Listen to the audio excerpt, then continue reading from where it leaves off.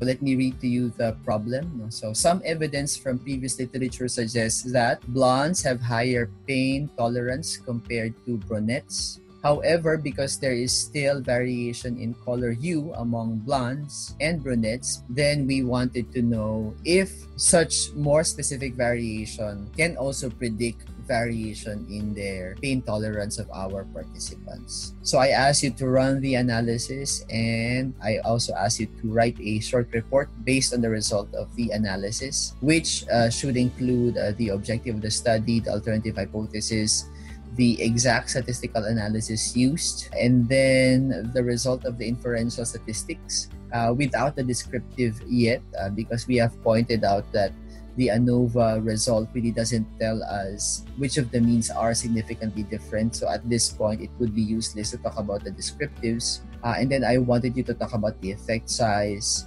uh, and then the post hoc use, and then the post hoc result. Uh, and this time, because the post hoc tells us which of the means are different from which other mean, this is the appropriate time when you should also include the descriptives uh, and then finally, the non statistical meaning or the elaboration of your interpreted results. So let's do that. So this is our data set of pain threshold. This is our data set. The first column is not really pertaining to any variable. This is just the case number. So if you can see there, participants. So this means to say that this is, we have uh, 19 participants and they're just sort of labeling uh, the, the participants. Participants 1 to 19 and then our next variable is the hair color as uh, mentioned here in the header of this particular column. Uh, and it's a categorical variable. There are four categories uh, and the four categories are light blonde, dark blonde, light brunette, and dark brunette. And then finally, we have our dependent variable, which is measured continuously. So this is pain tolerance. And because this is continuous, we have to uh, specify it as a continuous variable. So we click on this little icon here, uh, which right now looks like a Venn diagram. Double click it. Uh, then you can uh, specify what kind of variable is this. Is this nominal or categorical? Is this ordinal or is this continuous? Um, so we're saying it's continuous, so we specify it to be continuous. And then when we're done, we click this arrow here and we have already reassigned this particular variable as a continuous variable. So these scores are scores for pain threshold. So this suggests that, of course, higher scores means higher pain threshold. And we want to see if the variation in the average pain threshold across light blondes, dark blondes, light brunettes, dark brunettes are uh, significantly different. Of course, to do that, we will run ANOVA Okay, so let us run our analysis of variance. So to do this, let's click on ANOVA. Now in here, in the ANOVA module, you have your one-way analysis of variance and then you have ANOVA. And one problem with uh, this particular option is that it doesn't have um, an option to display effect size, which is very important. And so we have there here the other option. The main difference between these two is that this is only used exclusively for one-way analysis of variance but this module can be used for one-way ANOVA or two-way ANOVA or three-way ANOVA. This is a more flexible option. Likewise, this option can also provide us with our effect size, uh, particularly our eta squared. So between the two, let us choose this module, ANOVA. So these are our options. And then this is the table um, waiting to be populated by information as soon as we uh, select our options here. Uh, our dependent variable is pain tolerance. So we select pain tolerance and we transfer it over here. You will note notice here that it says fixed factors. So factors refer to the independent variable uh, and it's plural. We need to say that you can actually put uh, in here more than one independent variable but we only have one independent variable so let's just select hair color and transfer it over here and voila, you already have your output. What can we say about this output? What kind of information does this output provide us? So this is the variance between the pain tolerance across the different groups, while this is the variation in the pain tolerance that we would expect to happen by chance which essentially is a, a measure of the variance within each group.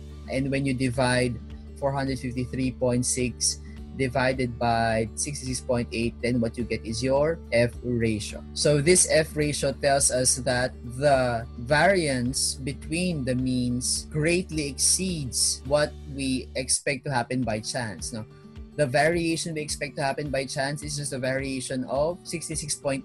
But what we are seeing here is a blown out uh, variation, 453. And that's why our ratio is very far away from 1. Had they been the same, then our F ratio should have been 1. But we can see that instead of 1, we have here 66.79.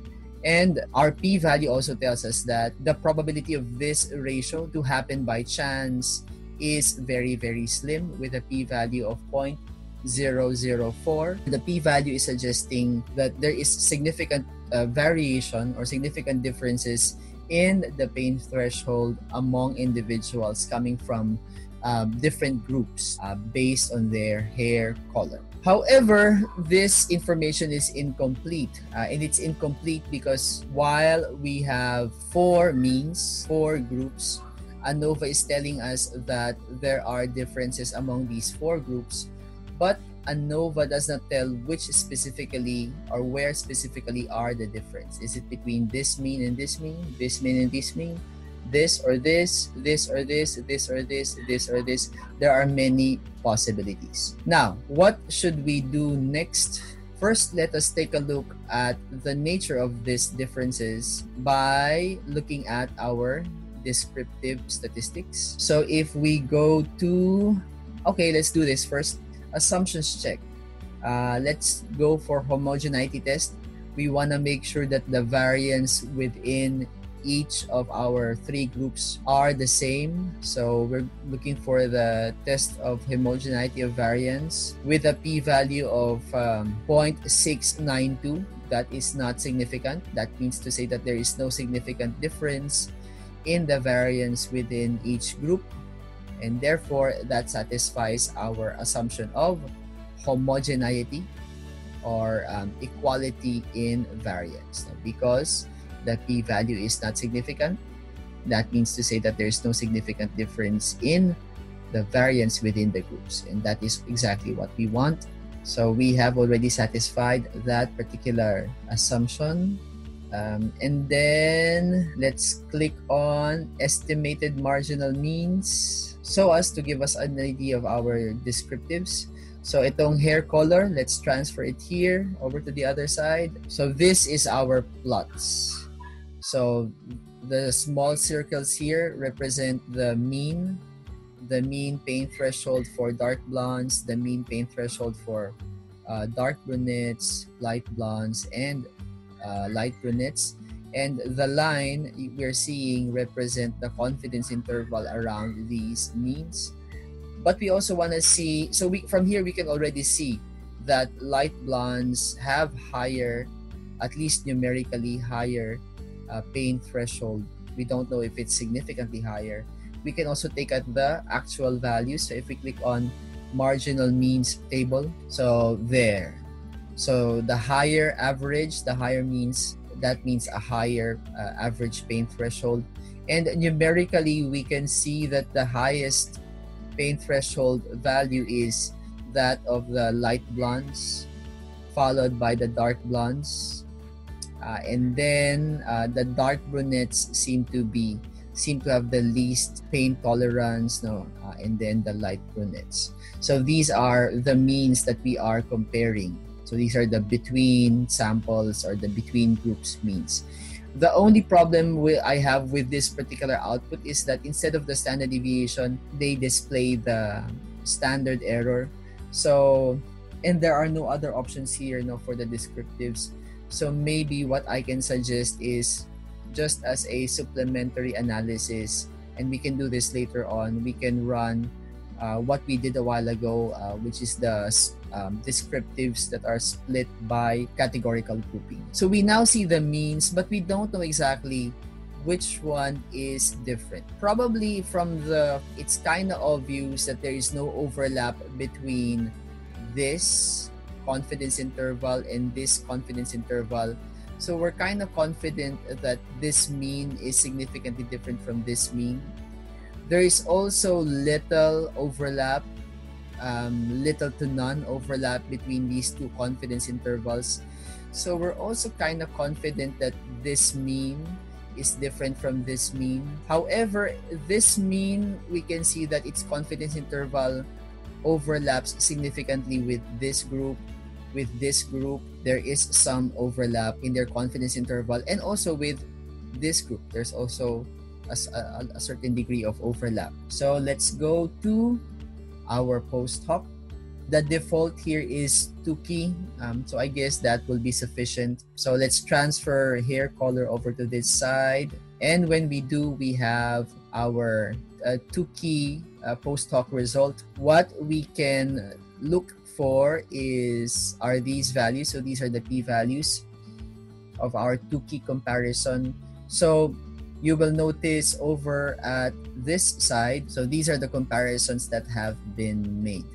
For example, they compared uh, dark blondes with light brunettes. So they compared dark blondes with light brunettes, dark blondes with light brunettes, dark blondes with uh, sorry, light uh, dark blonde versus light blonde, dark blonde and light brunettes, dark brunettes, right? So so forth and so on. So these are the various comparisons. All in all, we have six com- uh, we have six comparisons and these are the p-values. So let's take a look at the p-values and let's identify p-values that are lesser than 0.05 and those are this and this. And what are these comparisons?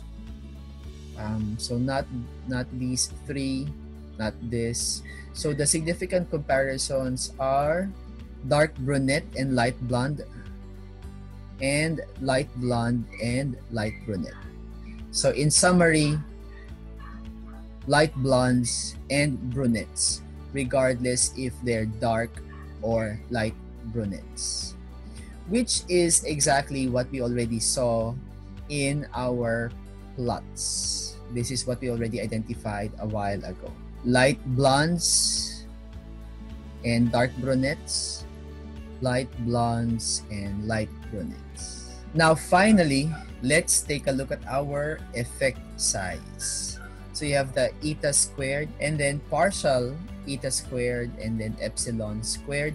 So let's use eta squared and you'll see that output right over here. There you have it. So this is the result of the or, or of the eta squared. Now the meaning of the eta squared uh, will be more more meaningful if we try to convert this uh, into percentage.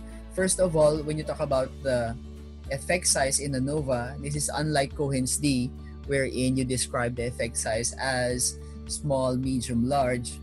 The effect size in analysis of variance is pretty much similar to the effect size in regression, wherein we actually term the effect size as variance explained. So that is how we term this.